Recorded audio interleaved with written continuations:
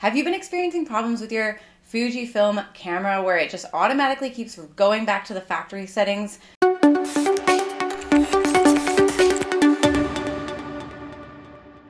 Hi guys, I'm Erin and I am here to give you a long-awaited update on my Fujifilm X-T3 mysterious reset problem. Now, a couple of months ago, I put out a video about how to troubleshoot this issue, which you can go ahead and check out over here if you would like.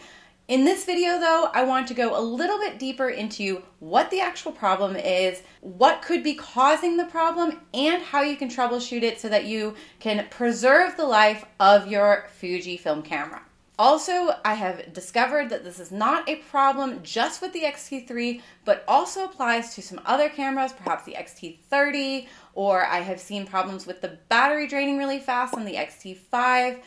If you experience any of these problems with your Fujifilm camera, this information could be very helpful for you as well. So stick around and I will tell you what I discovered. So first things first, what is the actual problem? Inside your camera, there is an internal battery which helps keep the settings and preserve your camera when it's turned off or when there's no battery in it so that when you put the battery back in it, it works again and your settings aren't lost. So this mysterious reset factor seems to be a problem with the internal battery of your camera failing. I find this very interesting because I shot with a Nikon D90 for many, many years and I never experienced this kind of problem.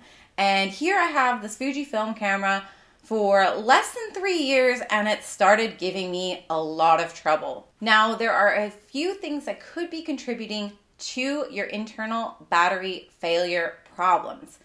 Part of the problem is if you are using a lot of third party batteries and not actual Fujifilm batteries. It seems that the camera doesn't really like these batteries and can lead to the internal battery dying a lot quicker in the long run. Of course, I'm guilty of this. I use third party batteries with my Fuji camera all the time.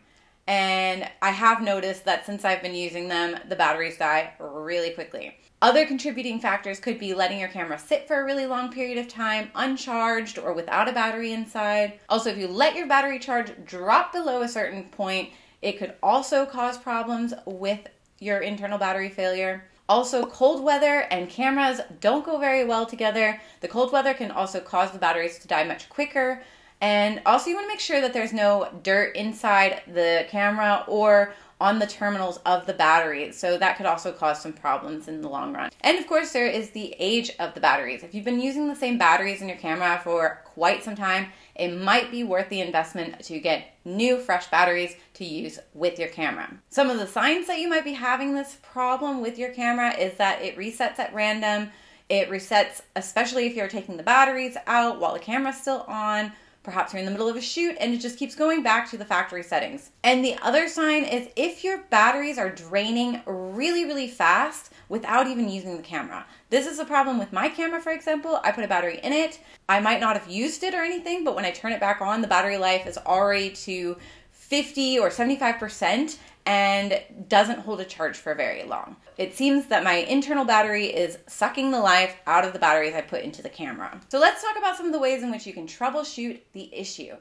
Number one is what I talked about in my last video, which is to make sure that you turn off your camera completely before you remove the batteries. This can help keep your camera from resetting every time you remove the batteries. Additionally, as I mentioned before, buy Fuji batteries. This will preserve the internal battery life and also hold a charge better than if you're using third party batteries. So, although it sucks because it's more expensive, just buy the Fuji batteries. And lastly, you can also charge the internal battery in your camera directly by plugging it in to your computer using a USB C cord. And although this last tip is not technical in nature, I suggest showing your beautiful Fuji camera a little bit more love. I know it sounds really funny, but uh, someone did point out to me that I was very frustrated with my camera and saying, ah, I hate this camera. I can't wait to get a new camera. I was complaining and complaining and complaining. And I have noticed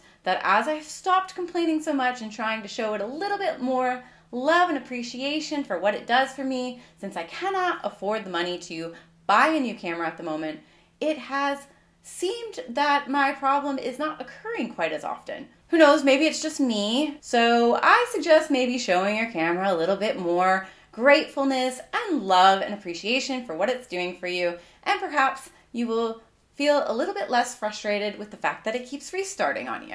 Now, regarding my camera and my setup, what I usually do is I have my charger next to the door, and every time I'm leaving my house with the camera, I replace the battery. So I'm taking my camera out quite often and I just keep cycling through the batteries so that it always has a battery that's freshly charged inside the camera before I use it. This is especially because I've seen the camera battery dying without me even using it. So it just helps to have a fresh battery in there or to take another fresh battery with you, especially if you're using third party batteries, which seem to drain much faster. So that could help you a lot. Just make sure you're always changing out that battery if you're going to leave it sitting for a while, also check the battery life a little bit here and there just to make sure that it's not having problems. And the other thing I really wanted to tell you when it came to this video was I wanted to be able to give you an exact price of how much it would cost to get the internal battery fixed in your camera. The truth is, I have asked around. I can't get a good price on it or get any information about it. I'm in the process of trying to find out from Fuji, so if and when I do hear back from them, I will be sure to include that in the description below. My personal opinion when it comes to fixing the camera, I'm not completely sure it's worth it. I find that just using all of these tips that I just shared with you to troubleshoot it seems as though it's been preserving the life of the camera. And not to mention that these newer models that are coming out are much better. They have image stabilization, they seem to have a different type of battery being used for them, perhaps even a longer battery life. So I do eventually hope to upgrade this camera. And until then, I'm just trying to do the troubleshooting things that I've mentioned and to show it a little bit more love and appreciation until I have the money to be able to invest in that new camera. Of course, if you are experiencing any of these problems with your camera, whether it's an X-T3 or not, I would love to hear about it. So if you could go ahead and put your comments and questions in the comment section below. I would greatly appreciate it. In the meantime, if you like this video, please be sure to give it a thumbs up, share it with others, and be sure to hit that subscribe button so you don't miss another video from me. Thanks so much for watching. I'm Erin. Happy shooting.